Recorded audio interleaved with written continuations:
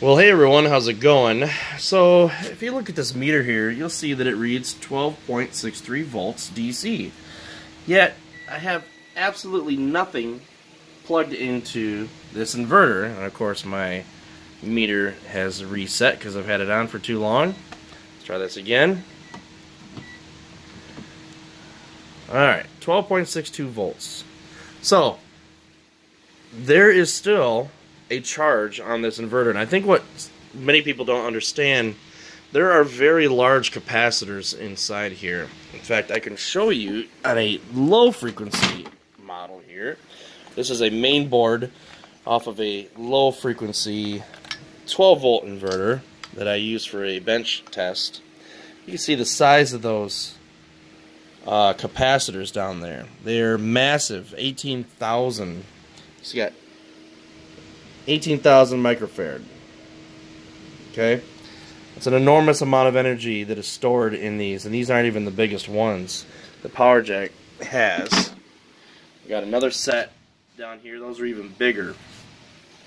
So, when you plug an inverter into a battery and the inverter is not charged, meaning those caps are not charged, you will get an enormous spark I mean, it will just bam. And it's scary to some people who think that, there must be something wrong with the inverter when there actually isn't, or they just don't understand. And this happens for all inverters, modified sine wave, the cheap Duracell ones. It doesn't matter what it is. You've got capacitors that are charged, okay? So you can see that this inverter is slowly losing its charge. That's because the caps are slowly discharging themselves because they are still energizing the circuitry that is on the inside here. Now, if you were to leave this like it is for maybe an hour, you'll completely discharge the, the caps. If you want to discharge them immediately, you've got a couple of options. You could short out the two posts. So you could take some wire or tool, you know, something like a big wrench or something like that. You could short out the two posts. You'll get a spark, but that will immediately discharge the caps. Or the second option is to just turn the inverter on with it not being plugged into the battery bank.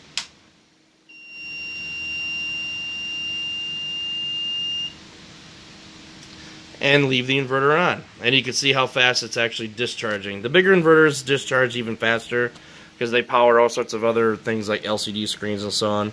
So you can see that it's coming down real fast those are your two ways to do that. And I know that it's um, it can be confusing because you know as soon as you disconnect it, it should be discharged, right? You know, you're unplugging it, right?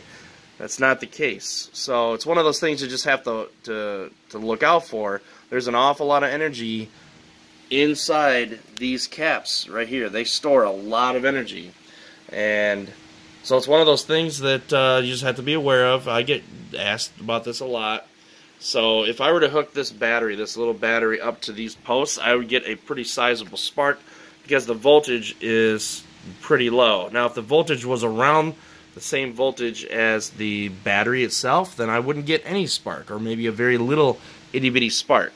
So there you have it. Hopefully that answers your question.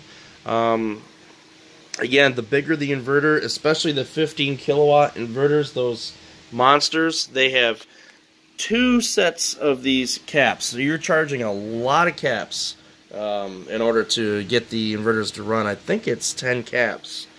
So very large capacitors that are in there and they all get that rush of current all at once to charge those caps. So that's something to be aware of when you're connecting your battery bank for the first time. It produces a very scary and a very large spark and you can actually it almost welds your battery cable to these terminals and you'll always see especially on the big ones the big inverters you'll see a big black plot mark on the corner there where they were touched initially. And uh, yeah it's it's it's definitely scary at first. For me personally I use a power supply to charge the caps first because I can hook the power supply up to the terminals charge them up, disconnect them, they stay charged as I demonstrated before. Then I can hook my batteries up, I get no spark at all. You can also use a incandescent bulb and run it uh, between the posts and the source, the battery bank, and that will slowly charge the caps up. Usually takes about 30 minutes. That'll avoid the spark.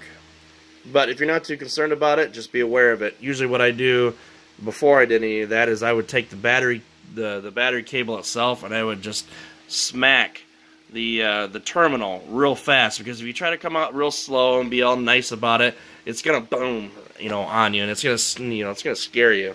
So I usually just take it and go smack, and then they're charged. I mean, it takes just half a second to charge those caps. There's a lot of current rushing in.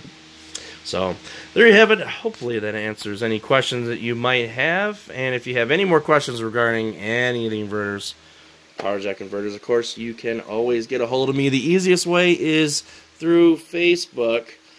YouTube comments is very cumbersome to try to offer any support for anybody. I can answer general questions, but hit me up on my OTG vlog Facebook Messenger and I can have a one-on-one with you and answer your questions the best that I can and hopefully get you some help.